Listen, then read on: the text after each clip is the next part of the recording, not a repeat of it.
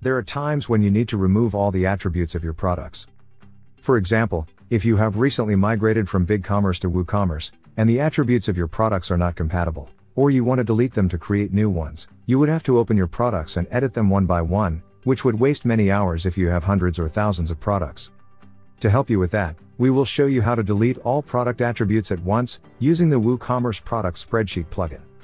This plugin is designed to make your life much easier because you can apply changes to thousands of products at once, using the plugin's bulk edit tool. You'll find the link to download the plugin in the description of this video. Also, you can find a link to our written guide.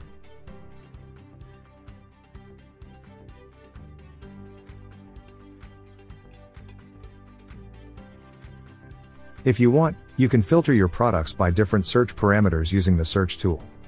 For example, let's find all products that contain the shirt keyword. To do so, open the search tool. Once the tool is open, enter the word shirt here. And run the search for all the products that contain the keyword shirt to be displayed in the spreadsheet.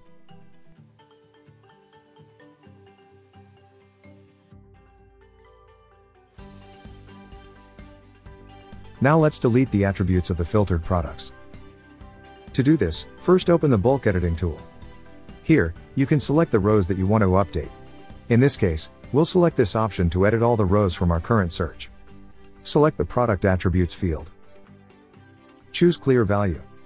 And execute for all attributes to be deleted from the selected products. Definitely, WP Sheet Editor makes it really easy for you to filter and edit hundreds of products at once. Remember that you will find the link to download this plugin in the video description, as well as the link to visit our written guide. We have live chat support on our website in case you need extra help. Don't forget to subscribe to our YouTube channel for more video tutorials.